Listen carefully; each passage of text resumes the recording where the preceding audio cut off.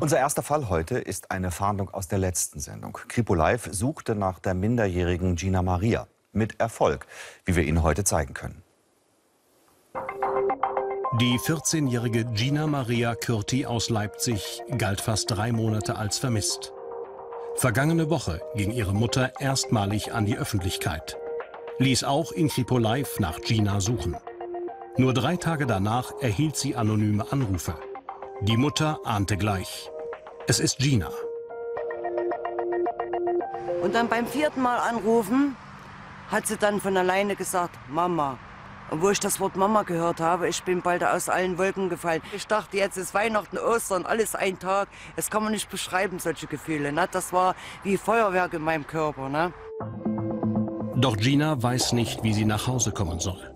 Sie hat kein Geld, weiß nicht mal genau, wo sie ist. Ihre Mutter rät ihr am Telefon, sich an die Polizei zu wenden. Nur kurze Zeit später greifen Beamte das Mädchen in Berlin-Reinickendorf auf. Hier hat Gina wahrscheinlich bei einer Freundin gewohnt. Doch was das junge Mädchen tatsächlich erlebt hat, ist zum jetzigen Zeitpunkt noch unklar. Denn bisher schweigt sie. Ich denke mir, so wie ich mein Kind kenne, na, sie hat nicht gut Erfahrungen gemacht, die Zeit draußen. Sie macht einen richtig mitgenommenen Eindruck. Na, richtig kaputten Eindruck. Rückblick. Seit ihrem zwölften Lebensjahr war Gina Mitglied in einer Mädchengang. Dort klaute sie im Auftrag, bekam im Gegenzug dafür Drogen. Schließlich wurde Gina abhängig und polizeilich auffällig. Im Oktober 2012 kam Gina deshalb in eine Jugendhilfeeinrichtung nach Brandenburg, um eine Therapie zu machen. Doch Gina riss immer wieder aus. Meistens wurde sie nach wenigen Tagen von der Polizei aufgegriffen, bis zum 30. Juni.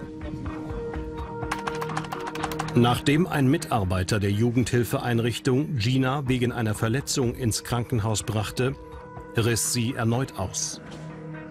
Seit diesem Tag galt Gina als vermisst. Bis zum vergangenen Mittwoch, dem 17. September, fast drei Monate später, nach der Öffentlichkeitsfahndung meldete sich Gina freiwillig bei der Polizei. Die Beamten bringen Gina direkt in eine Klinik nach Berlin-Buch. Hier wird sich jetzt zeigen, was Gina in den letzten Monaten tatsächlich durchgemacht hat. Den Eindruck, den sie mir heute gemacht hat, dass sie ziemlich am Ende ist und dass sie wirklich was ändern will. Ginas Mutter Petra Kürti ist einfach nur glücklich dass Gina in Sicherheit ist. Sie besucht ihre Tochter so oft sie kann, bis sie entscheiden wird, wie es mit Gina weitergeht. Das war nur ein Beispiel, wie die Öffentlichkeitsfahndung bei Kripo Live und ihre Hinweise helfen können, Polizeiarbeit zu unterstützen.